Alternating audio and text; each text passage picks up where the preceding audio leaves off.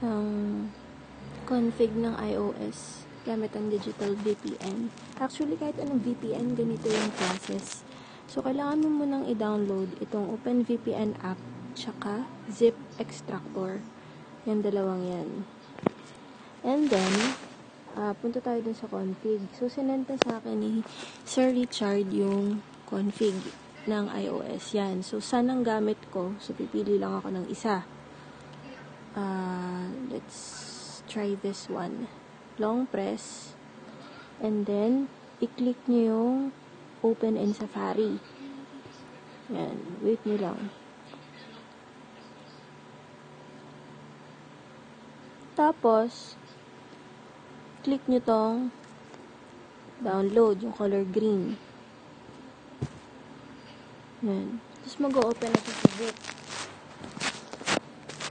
Pagka-open niya sa zip,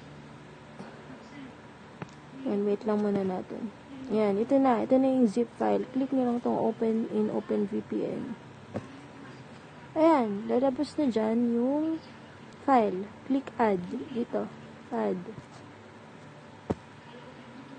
Tapos, lagay mo yung username mo. Lagay ko yung username ko.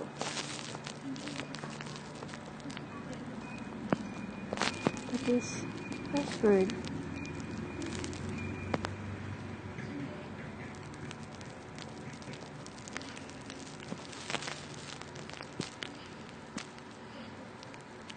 Add.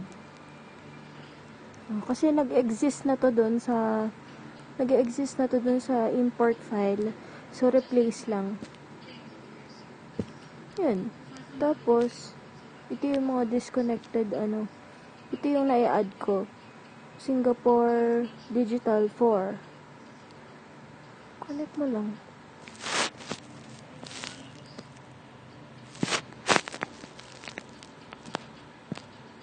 Yan, okay na. Connected na. YouTube na tayo.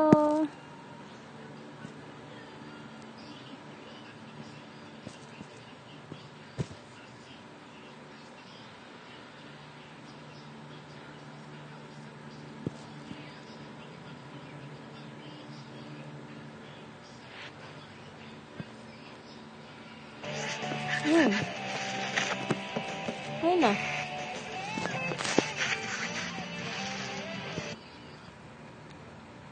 Ganun lang siya kasimple.